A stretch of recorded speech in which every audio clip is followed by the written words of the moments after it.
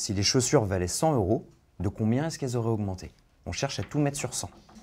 Il y a deux ans, Thibault était encore ingénieur en informatique. Après une courte formation encadrée par Pôle emploi, il est devenu prof de maths suppléant. Cette année, il a décroché un contrat jusqu'au mois de juin 2018, un poste instable et mal rémunéré. Le métier ne fait plus rêver grand monde. La ritournelle de euh, oh bah vous êtes prof, vous êtes tout le temps en vacances, euh, vous travaillez que 18 heures par semaine. Il y a un manque de reconnaissance globale.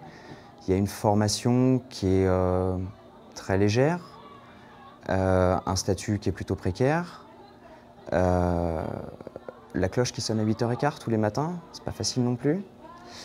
mais quelque part, les personnes qui sont là ont une certaine motivation. On ne vient pas pour l'argent. Le remplacement des profs absents, un vrai casse-tête pour le diocèse.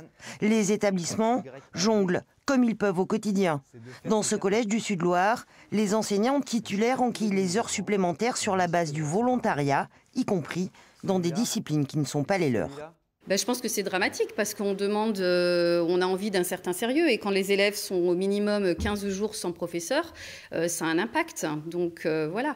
Après, il faut les remotiver également, donc c'est problématique quand même. J'espère que des solutions seront trouvées rapidement. On utilise les différents réseaux, donc Pôle Emploi qui nous envoie quelquefois quelques candidats, donc des annonces Pôle Emploi, Le Bon Coin, tous les sites de communication possibles, et on essaye d'utiliser également le réseau.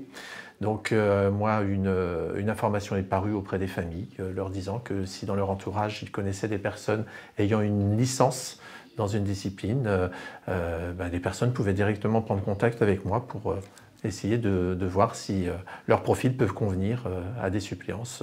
Dans, les disciplines demandées. Saint-Joseph fonctionne avec 5 suppléants à l'année, mais il reste encore deux postes à combler un en maths, l'autre en français pour que l'intégralité du programme soit assurée.